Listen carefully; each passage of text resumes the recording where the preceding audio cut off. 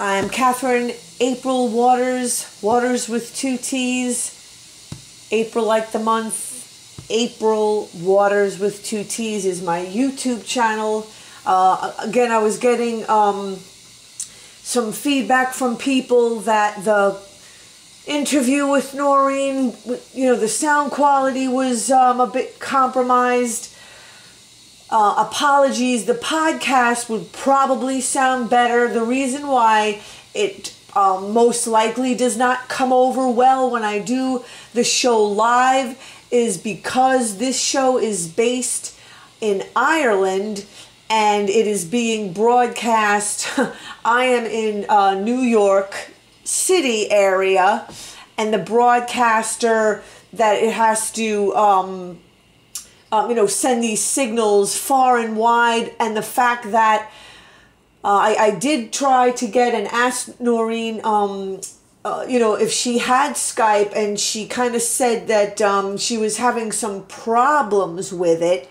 Um, and so she was probably using a landline, I believe. Um, I'm not even sure if it was a landline or a cell phone. But anyway, moving right along, um, I am recording this and I am going to read.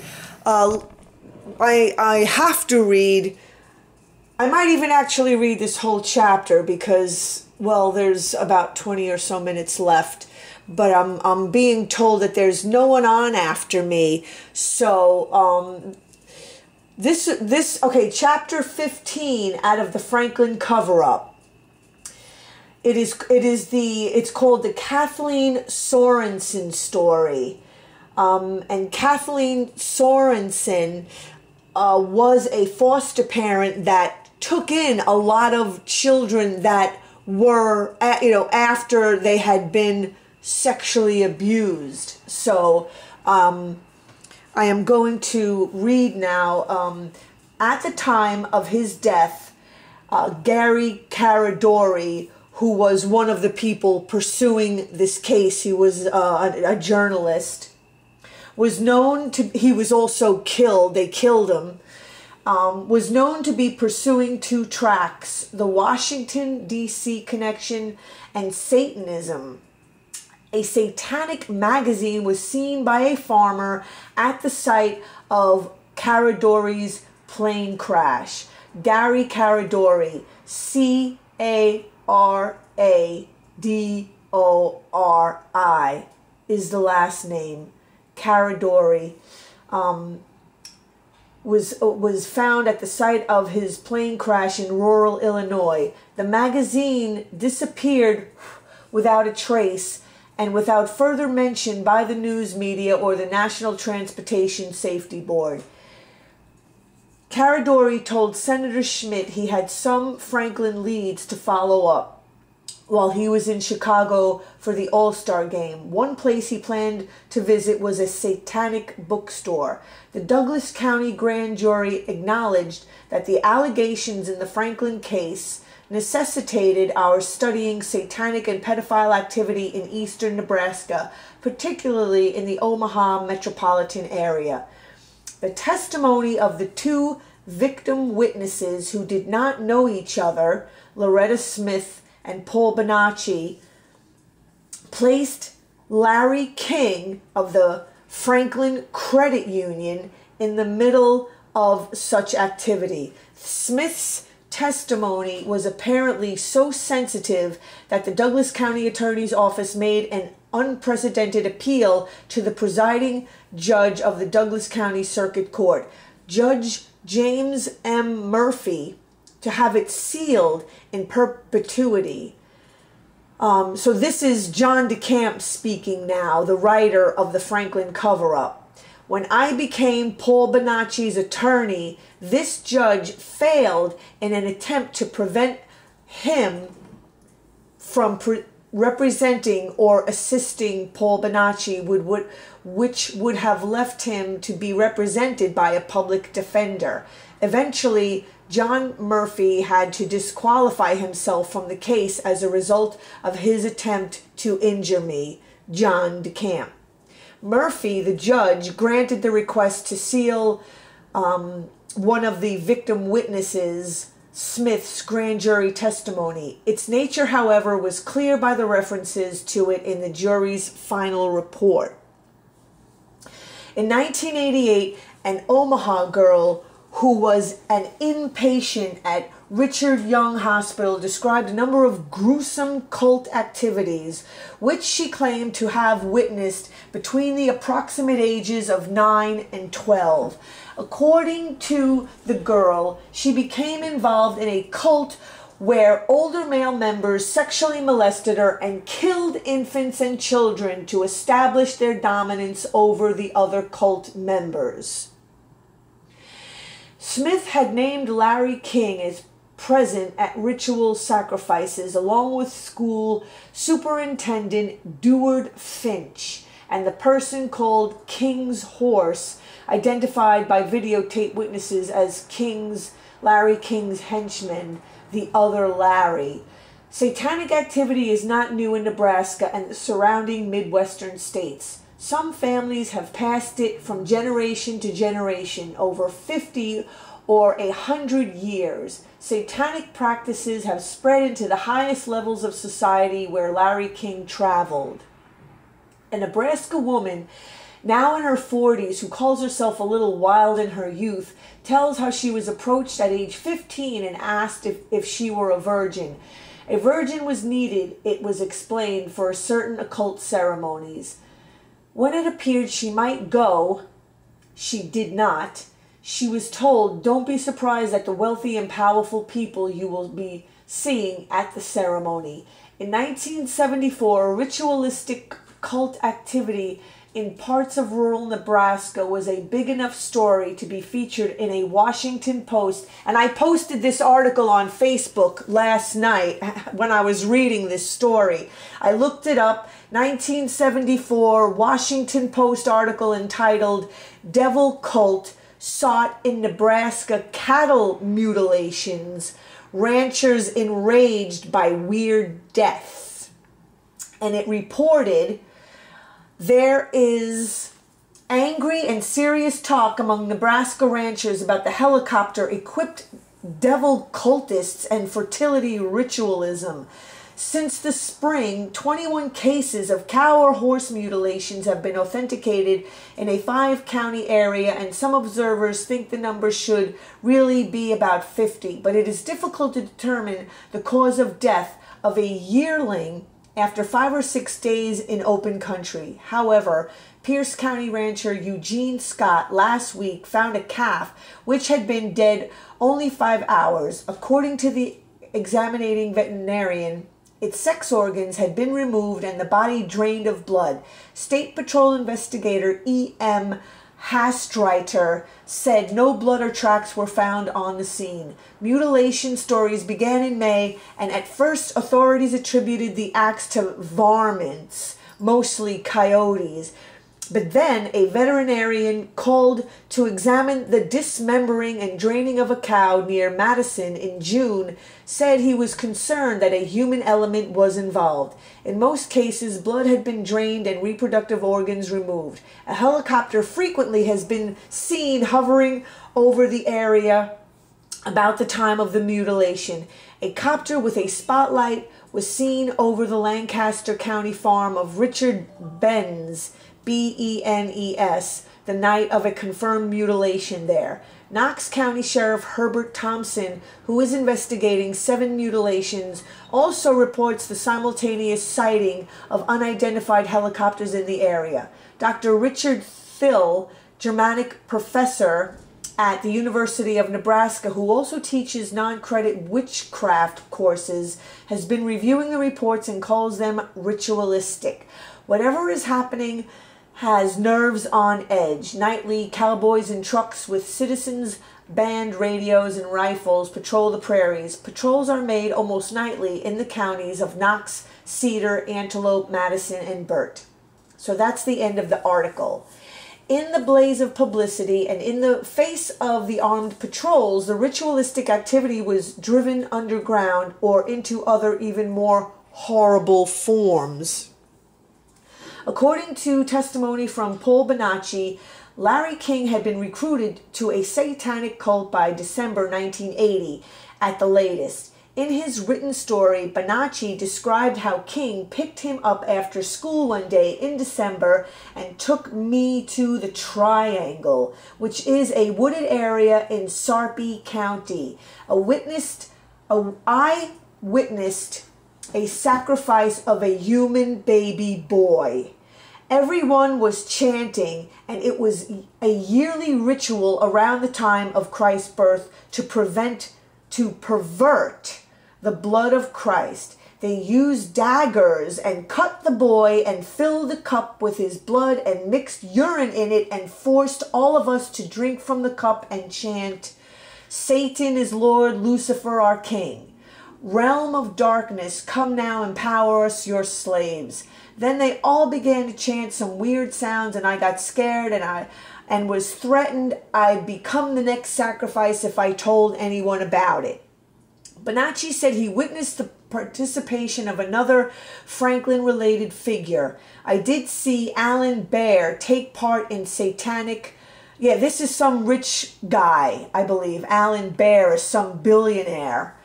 Um, take Baer, B A E R, Alan Baer, take part in satanic activity on several occasions. Paul Bonacci spoke to Dr. Julian Densen Gerber about his activities as a member of four different satanic cults in Nebraska, some of which had 50 to 100 members. A groundbreaking account of satanic activities in Nebraska came from Kathleen Sorensen, the foster mother who took in Nellie and Kimberly Patterson after they fled from the Webbs, this other family that was involved in the abuse the, so Mrs. Sorensen is the foster mother, decided to speak out about what she had learned from children in her care. Together with her eldest foster daughter, a survivor of ritualistic abuse, she spoke at public forums around the state, gave radio and television interviews, and appeared on Geraldo Rivera's nationally televised special on Satanism. This is the report Kathleen Sorensen gave on a Christian TV interview program aired in Nebraska in 1989, based on her experience with over 30 children who spent months or years in her home. We got involved and learned about this subject because we were foster parents and worked with a number of children. And several years back, several of the children began, after a period of time and building up trust, began to talk about some very bizarre events that had happened in their past, and they were frightening and very confusing. I really didn't know what to think. We went to the police and we went to social services, and there was really nothing anyone could do, it says. These children we worked with are now adopted in safe homes and probably would never have talked had they not felt able to trust the people they were living with. There are certain things that are in common with the children's stories when we talk about devil worship. There are things that come up in every single story, such as candles. They all talk about sex, Sex is without a doubt part of every area of this. All sorts of perverted sex. Um, that is what you will first hear about the sex, about the incest, and it is so hard to believe. But once we get that, we have learned that we can go on and ask and find out, and it will involve pornography. That is always part of it. Part of the reason is that they can use that to threaten the children. We have pictures. We will show the police if you talk. Is it makes the children feel that they are in danger and they are all very frightened of the law. They talk about the garish makeup that the people in the group wear. They talk about uh, singing that they didn't understand. Obviously, that is chanting, and that has come up in every one of these stories, and none of them call it chanting. There will be dancing. Most often, that will involve sexual acts. There will always be a leader, and they will be very frightened of the leader. These children from a very young age, and I am talking about children who came out of birth homes, the family they were born to worshiped the devil. That's all I can share. That's all I can share, and I don't pretend to be an expert. All I can tell you is what the children have told me. My husband and I, we know things we shouldn't know. That's true. And I thought very carefully before I agreed to do the program because we have heard so much. It is so ugly and so frightening that you hesitate to tell it to people. It's very heavy to know. I don't want people running around looking in their closets and not leading normal lives. You don't want to think you are giving people ideas. I don't want people to say if a child starts to talk about some of this, they probably saw it on that Kathleen, on that show that Kathleen did but we're hearing more and more and it has become very very out in the open. And i think it's time for people to know that this is not fun and games. This is not something we can laugh at it or ignore. The children i've talked to all had to murder before the age of two. That is something beyond anything i could comprehend. But in some way whether with the help of an adult's hand over theirs by having them practice, by getting them excited to be part of the adult scene, they do murder. And the evil thing that happens is that they really believe that they want to. They want to do what the older people are doing. They want, and they are praised for that and that becomes their goal to be like the adults. There is a little part in them that um, that natural good God-given part which knows that it is wrong, but in a group, in the excitement of everything, they want to do it. They enjoy the sex. Children are capable of enjoying sex. I didn't know that. Well, why would they fight against it? A child will be eating a bag of candy if you give it to them. They will take part in these things willingly when they get out and begin to talk, it is very difficult for them to realize we didn't realize it at first that they actually wanted to do it. They are told they will never get out, no one will ever believe them. That there is no freedom, that the law will get you. They are hopeless before they get someone willing to listen. They are threatened with death. Every time a child is killed in their group, they are told, if you tell, this will happen to you. They have every reason to believe that. So even when they are into the foster care system and with another family and begin to feel somewhat safe, they will still expect these people to show up on the doorstep they believe that these people know everything they are doing, everyone they are talking to. One teenager told me that she had been told that if she ever got married, that they would fool her. It would be one of them and she wouldn't would not know it ahead of time. They set them up to fail in every area. It is very prevalent in the Midwest Iowa, Nebraska, Missouri. Some people have speculated recently that these states are headquarters. As you listen to us talk about these things, there will be a natural part of you which will deny much of what you will hear. And believe me, we did too. I would like to share this with you, particularly in the children's words, so that you can hear the things that they say that nobody could make up, that no child could know. That's what eventually convinced me, along with deep emotion, the grieving, screeching, damage, and the hurt that they cry out with as they talk. The children I will be talking about, these are all children that I personally talk to. They are today between the ages of 5 and 17. When they talked, they were between the ages of 5 and 15. When these things occurred to them, they were between the ages of, well, birth, but of when memory enters in. I would say a year and a half to eight years old. So we are talking about very small children. We are talking about children forming consciences at that time, learning right from wrong. These children do not know. They come out and do not know what is right. They are confused. What they did before, what they were rewarded for, is such a horror to anyone else that they are shunned. And most often they have been in multiple placements. They will go to a home, they will steal, they will lie, they will hurt animals one little guy would sharpen pencils and try to stab, stab people. I don't mean poke, I mean stab. People don't like that in their homes. They don't have any idea what it is. They just think we have a weird kid. Many are sent to psychiatric hospitals where they are labeled psychotics, schizophrenics, and who would want them in? I praise God that He brought so many of them into my life, and through our home, that there are other families like ours. It is just a movement of the Holy Spirit, the only way I can explain it. I will begin with the first stories that we heard, which will seem horrible to you, but are very mild to me because we've heard we have progressed and heard far worse things. The first story is about two little boys who were 7 and 9 when we spoke.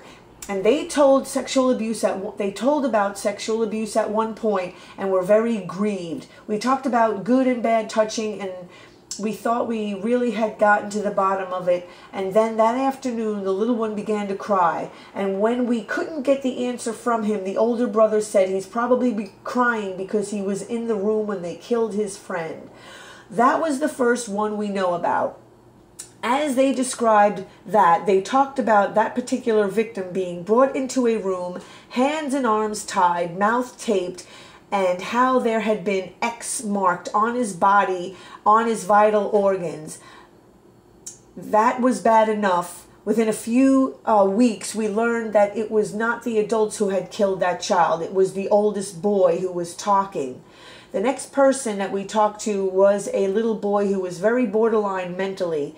He had language problems, it was very hard for him to explain himself. And when he began to come out of it, everyone was startled the way he he spoke. Uh, we were real sure we knew he had not been around these other children and heard anything, but we began to question ourselves. Are we asking strange questions? Is there something odd about us which makes children come and dump these things, dump these things on us? The part which made me believe this child's story, he talked about different babies being killed but this particular one being stabbed, he curled up in a fetal position. He was nine years old when he was telling the story. He curled up in a fetal position and his eyes got real glazed and he said, They cooked that baby on the grill. And I thought, he was really flipped out. I mean, I didn't know. And he said, Oh, gross. I, it smelled like rotten chicken or rotten deer. He then went on to tell us how they would cut out the heart or cut off the sex organs and save them in the refrigerator. A very typical thing that these kids talk about. They worship the sex organs. They kept it for another ceremony. I asked him where the bodies went. I did not get any answers from that child about what happened to the bodies, but the other two boys, um, who I spoke about first, eventually they talked about throwing the babies in the fire. And I asked about that. You mean they were dead when they were throw, thrown in the fire? And the littlest one said, No, no, them was alive and them threw them. And by this time, we were really getting freaked out. What were we going to do? How can you help these kids? Were you, where do you find a therapist who can deal with this? But God set up a support system. Other families were helping us, and that really helped. The next child I will share about, and I am going sort of by categories here, how we learned and the types of killings. This little girl is 11 today. She was 9 when she first talked it was a very painful thing when she first started to share the sex things. The sex things are so harmful to the children and they are so embarrassing. It's so personal to the children. And they know that they enjoyed that. They know that. We had been through all of that. She began to draw pictures of cats, and the cats all had the tails that were on the other side of the page or their leg was someplace else. As we began to work with her and talk, she said that she had to kill a pregnant cat. She first said that they had a, killed a pregnant cat. We said, "How did you know it was pregnant?" Well, she she could not explain that, but as we got into this, she confessed that she had to kill the cat, and I asked her and her description was with a knife. Ugh, I put it in her bottom and twisted it. Now you tell me, does a kid know that? If I ask a kid, how do you kill a cat? Do you think they will say that? Those are the kinds of details these children tell us. Later, they eventually cut the cat open, and that was how they knew the cat was pregnant. And they they eat parts of the cat and the feces and the blood. And again, this was just the beginning.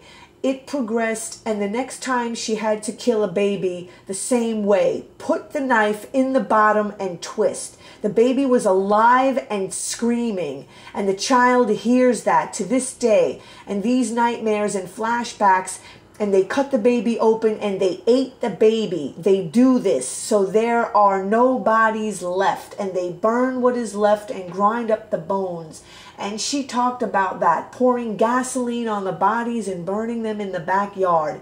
And I used to think that was nuts, but I have heard it enough times that I know it must be so. We know there are mortuaries involved to cremate the bodies, and that makes sense. The most horrible story about fire that I have to tell and this is extremely, extremely disturbing. It was a little girl. She was a teenager when she was telling me, and she was describing a barn where they used to go to have their meeting, and they used to gather outside the barn, and there would be chanting. And then, as they went inside the barn, they would be split into different groups. And she was never with any of her family. They all went to different places and I asked her where she had to go, and she said, I was always in the burning room. And as she went on to describe the burning room, I thought, how she came out of this with any sanity at all, I don't know. She was a very small child, and they would take in children, probably preschoolers. Um, Sorry, I just stopped to read from the chat of the People's Internet Radio and check my timing on my recording. Um, right, one personality always is the shy one, is what someone on People's Internet Radio chat wrote. Then there's the outspoken one, seems to be way of, right, letting go without the gentle one getting the blame for doing so uh, okay, preschoolers back to reading, and they would hang them from the rafters in this barn, and there would be as many as five or ten preschoolers hung in a row. They would be fully clothed, which is unusual because frequently they are naked. The children, like this girl, were all given candles, and you can picture the ceremony as she described it, and the candles were lit. Then the adults would go forward and they would pour liquid from a cup on each of the children's clothing, which was obviously gasoline or kerosene. And then they would give a signal, and the others would have to go forward and set the children on fire. When they were done, they would cut them down. The first child that this girl had to kill was a cousin, a little cousin. This, what does that do to you? But you couldn't object because the children that objected were killed. Frequently, she said, people would come in, families, not knowing that their child would be sacrificed, and she described the screams when they realized that their child had been killed. This child, about two years ago, just fell to the ground at Christmas time. Everyone thinks that Christmas time is such a wonderful time, and she confessed that she hated Christmas. She couldn't wait until everything was put away because all she could hear was babies crying. Christmas is the time when the most babies die. And she covered her ears and cried for two and a half hours and screamed, Stop it, stop it, stop it. Talk to God and make him stop. All she could hear is the screams and the babies crying. Christmas for the children I have talked to has been one of the worst times. I've had three children tell me about a, a, very similar ceremony, and I will kind of merge that and tell you how it went. They were taken to a church, and all the children, it's a very festive occasion, and they are all taken to the front of the church, and a small child is now brought in Two of them talked about babies and they put them on a platform. The adults are all celebrating and dancing and singing, and the children are getting into the spirit of it. And what they are doing is forming a circle around the child. And of course, the child represents the child Jesus. And they begin mocking and spitting and calling names and then they encourage the children to begin doing it. And you can imagine how it gets out of control. And at some point they hand all the children knives. My recording um, kind of stopped so i might have missed a little bit of the the last part but um okay um Catherine Kathleen Sorensen, the foster mother, was aware uh, that it was dangerous to tell the public what she did. She appealed to friends, pray for me. She died in a head on car crash in October of 1989. Um, Former FBI abuse specialist Ted Gunderson evaluated the accident in which Kathleen Sorensen was killed as a satanic contract suicide. The other driver didn't die, but well could have. In satanic lore, a person who loses his life in such a contract murder suicide will be reincarnated with more power granted by Satan. Kathleen was driving on a long, narrow stretch of road between Fremont, Nebraska and her home in Blair. At several at least several people knew the road she would be on and at what time. A car was traveling in front of her, which was possibly the spotter car used in such a situation. Another car, coming from the opposite direction, crossed the center line and rammed into Kathleen's car, killing her. Both the young woman driver and her husband had prior arrest records for cruelty to animals, a common marker for Satanism. Not long after Sorensen's death, a teenager in a youth care facility told a worker, You better watch out or we will get you like we got that lady from Blair. The youth went on to describe a ceremony of drawings, drawing lots for the privilege the youth went on to describe a ceremony of drawing lots for the privilege. One of the most potent weapons of the Satanists is the ability of the average person to comprehend such hideous events as described by Kathleen Sorensen. Um, a few years ago, if anyone had recounted something like her testimony to me, I would have recommended they be hauled off to the loony farm. Today, I had no doubt that much, maybe all of it is true. I have been confronted with documentation of a world I did not know about or believe existed. I understand why normal people reading Kathleen Sorensen's words will have what psychiatrists call a denial syndrome. Dr. Densen Gerber, who, by the way, I looked up and is deceased, and it was actually a, a New York City area psychiatrist, addressed this phenomenon when she testified before the Senate Franklin Committee on December 29, 1990. She said, I want to say one thing. I would not want the committee to disband. I think that this is not in the best interest of the average Nebraska citizen for reasons that I have said. I would also not want the material to be turned over to many other to any other committee because it takes 2 to 3 years for the average person to get through the automatic denial that goes along with this kind of material. The first human defense mechanism against untenable horrific facts is to say that they don't exist. Dr. Dennis Densen Gerber testified that a particular satanic ritual in which a two year old child was placed in the cavity created by a cesarean section delivered delivery of a baby. This was so horrible that she herself refused to understand what some of her patients were telling her. I've been in this field for an awfully long time.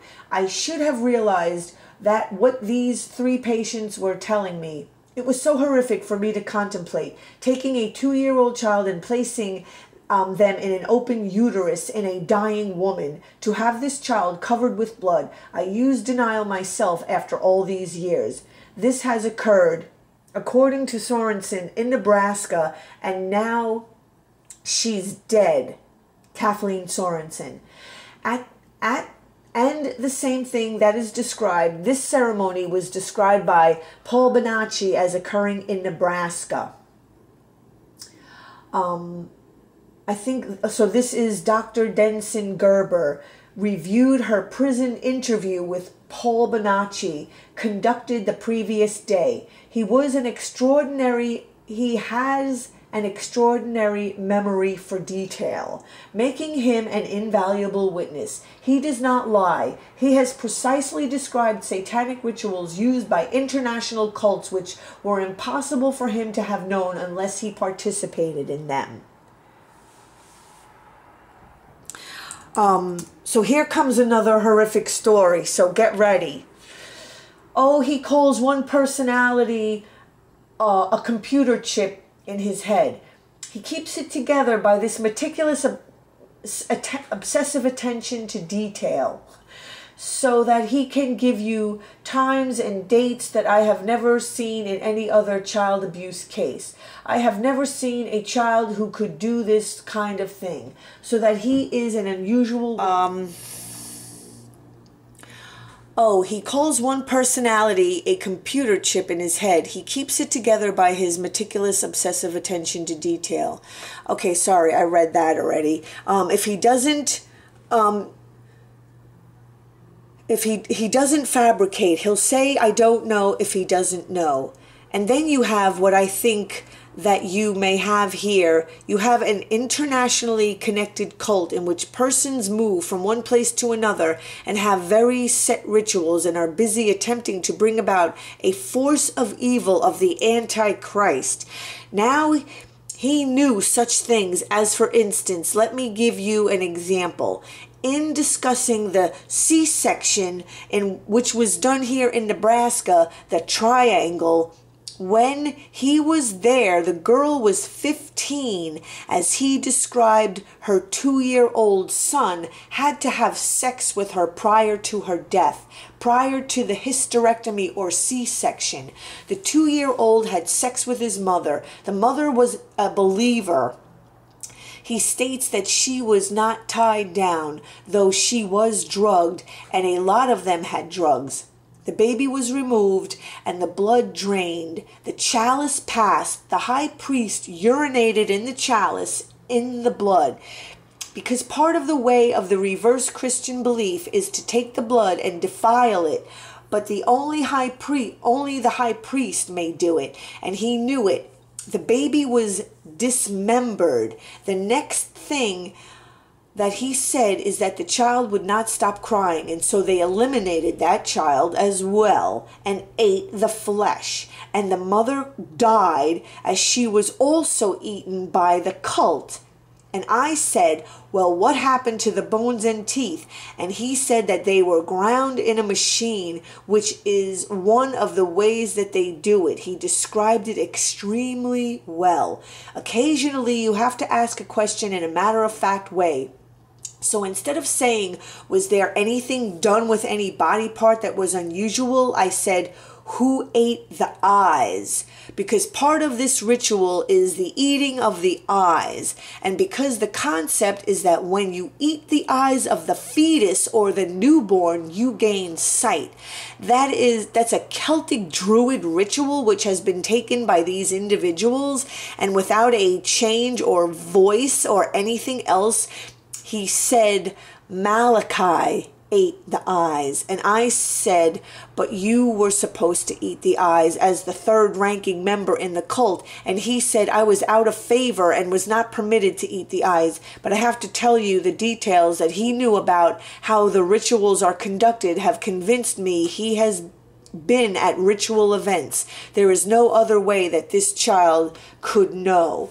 Um, so, right, that ends chapter 15 of the Franklin cover up. Uh, the next chapter um, is the four fighters who didn't quit. Um, it goes on to talk about Paul Bonacci leading a Christian, a Christian fighting for his life. Um, so, um, you know, I just, I just wanted, I felt like I, I had to read it. I, uh, you know, I was reading it before I, you know, I can't read this stuff before I go to bed anymore because I, I, I won't be able to sleep. so, um, this podcast is going to be on my YouTube channel April Watters with Two T's, and the podcast with Noreen Gosch will sound a lot better than, unfortunately, when I play it live over the Atlantic Ocean. So, um, you know, again, donations are greatly appreciated on my YouTube channel. There is a link. Um, and um, yeah, people, this is real. Thank you for listening. Um, happy 2017. Someone is saying to take a music break and read more. I'm not sure what the um. I mean, do you want me to leave a, to to read a little bit more? Um. Social network. The page say that is hosted from your own computer. Um. Okay, wait. Hold on a second. Let me just put my um.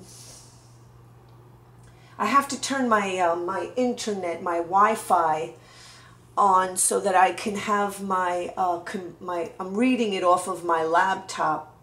I actually, yeah, I don't.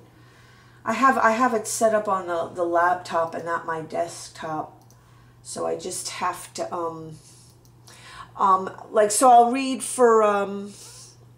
I don't know, maybe fifteen or so more minutes, or till like roughly eight thirty ish Oh, thank you. Um, I, I, I, I, you know, I feel really bad that the um, interview with Noreen Gosch didn't, you, you know, I mean, I see, like, I, I can un- understand her okay when I was interviewing her, but then when it gets broadcast over the, um, the, the, the broadcaster because the show is based in Ireland, it, it gets more distorted, which is the unfortunate reality.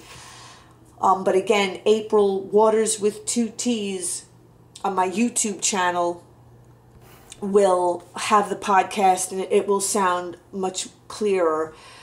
Um, okay, so uh, chapter 16 Four fighters who didn't quit, freeing America from the influence of those who protect and enrage, sorry, engage in official corruptions from drug dealing to pedophilia, from abuse of public office to protection of Satanism will depend on people who put fear behind them and stand for human dignity.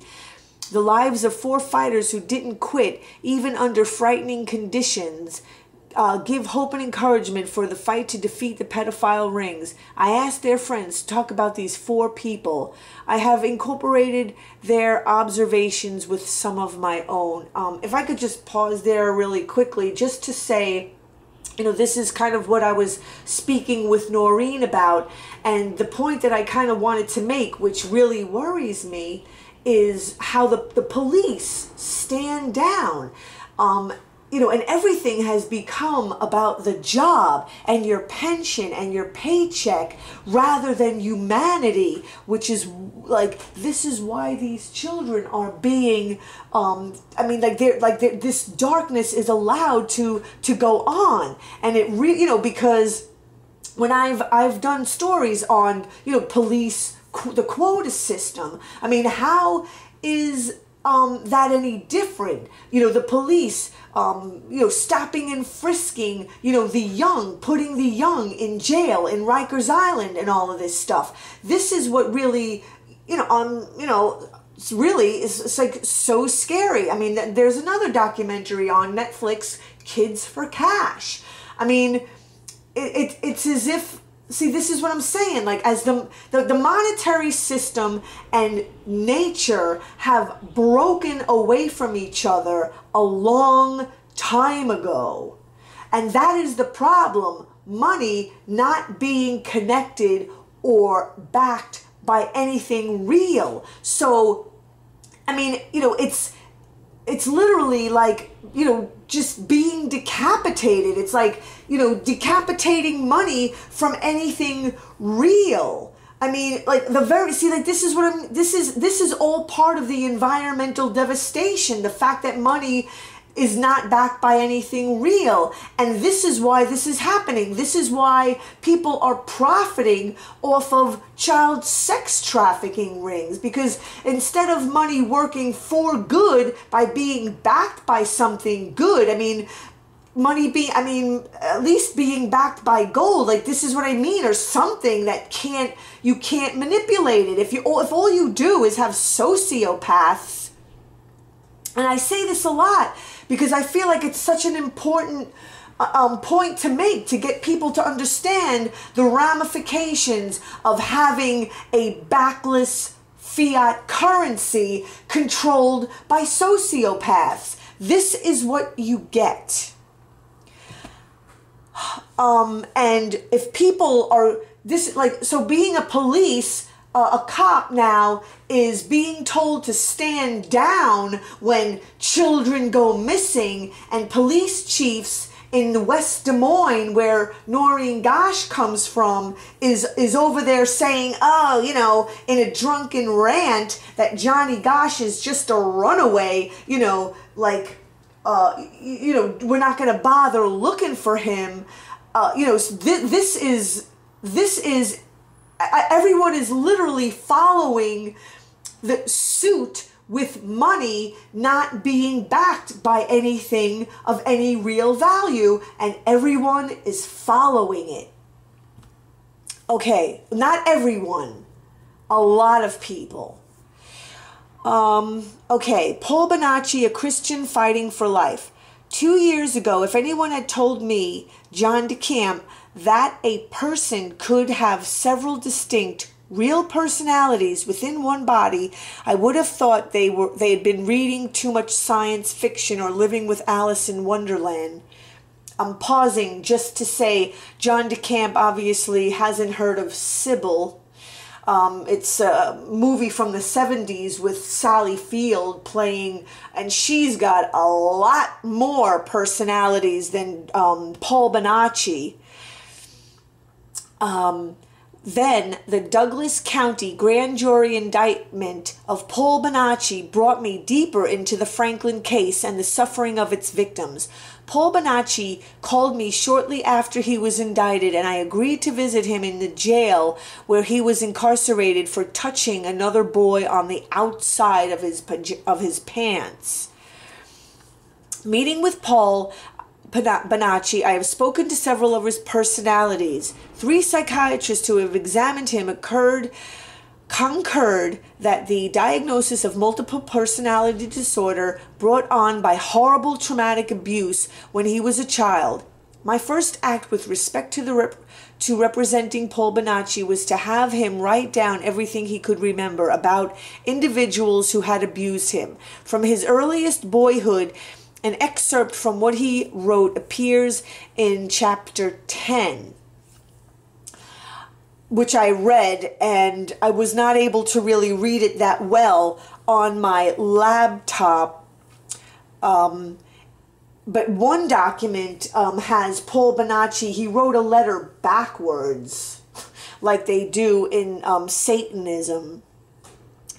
In that document and in Paul's letters, his handwriting will vary depending on which personality is in control. Bonacci was sentenced to five years in prison in 1989 for molesting a young boy for whom he was babysitting. Give me a break. apparently, so, so this is who they put in jail the victim with multiple personality disorder from being fucking sexually tortured and, and since he was five years old, Noreen said.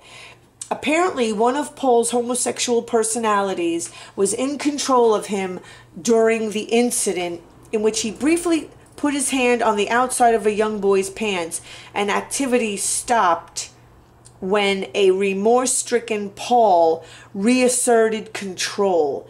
Despite testimony from family, friends, and church members that this was out of character, and despite its being a first offense, the Omaha court threw the book at Paul. I mean, just listen to this. Threw the Paul at Paul Bonacci. While, uh, right, heads of state, senators, people in the White House are, you know, getting getting him to to do this stuff. They never go, to, you know, like this is what I'm saying. The people running this country are nothing but a bunch of cowards. This was before Gary Caradori first interviewed Paul, but the Franklin case had broken, and it would have been known to those to whom it mattered that Paul Bonacci could be a key Franklin witness. Paul Bonacci is not just a victim, he is an intelligent young man who has entered a process of redemption. Bonacci was intentionally damaged spiritually and physically from a very early age. He was forced to participate in headhunting expeditions, luring younger boys into servitude. Throughout his childhood, Paul fought desperately to survive hell. He was brutalized continuously. Once, when he was very young, it was discovered he was going to tell about the abuse. He had hot melt, hot metal shoved into his mouth. Boy, now I know where parenting techniques came from. Now, Paul is in a fight for his life and for the life of others. A person who, until quite recently, was involved in a very immoral and dangerous to others is now motivated to an effort to live by love and a sense of justice. In letters and conversations with friends, Bonacci says that the mission of his life is to prevent other children from suffering what he has. He speaks of being strong in his Christian faith and of his efforts to convert other inmates. In a letter from prison to a friend, Bonacci talked about his desire to serve others. I'm 23 year old man who loves God and wants to do the right thing to prevent other children from being abused. I am against anyone harming a child in any way. I'm only wanting to see the men stopped from hurting others. They can kill me. I'm ready to die for what's right. But if if by my death I can prevent a child from being abused, I'd do it. In his written report on his victimization, Paul said, I have in the past covered and cowered and given up. I no longer can cower and give up. Instead, I must stand firm and with truth go forward and fight against the men and the evil they have done to myself and other young people. Perilous times shall come, for men shall be lovers of their own selves, covetous, boasters, proud, blasphemers, disobedient to parents unthankful, unholy, without natural affection, truce breakers, false accusers, incontinent, fierce, despisers of those that are good, traitors, heedy, high minded lovers of pleasures more than lovers of God, having a form of godliness, but denying the power thereof from such turn away. For, th- for this sort are they which creep into houses and lead captive silly women laden with sins, led away with divers lust, ever learning and never able to come to the knowledge of the truth. Oh, it's Timothy 3 1 9 this scripture just about says it all about the men who have used me and others. They can continue to deny these things before men, but the day will come when they will stand before God and He will know all, and then they cannot deny. I've, I have continued to speak the truth, and for doing so, I am now being put down as a liar. The only the only liars are those who continue to deny the terrible sins they have done. Also, Troy and Danny yeah, Troy Boner, um, the one I spoke about with Noreen, who was killed in a health facility under very suspicious circumstances, who at first told the truth and then began to recant because he was threatened to save their own butts from indictments which everyone with a brain could see coming for the victims. I will stand firm in my faith and trusting in the Lord to show the truth in the end. Um, so, uh, okay, I think I might um, pause here. And uh, again, so it's the Franklin cover up. That's this book that I have by John DeCamp.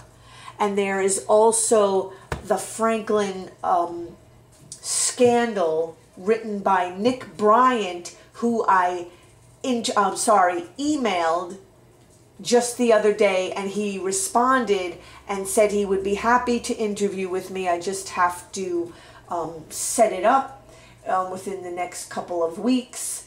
And um, so, again, please um, see April Watters with Two T's on YouTube, where the podcasts for this will be um, put up And please, if you could support, donate, it would be extremely appreciated um, because don't get I don't get paid anything to do any of this stuff. I've just always been I always thought if I took money like I was selling out. This is my crazy thinking.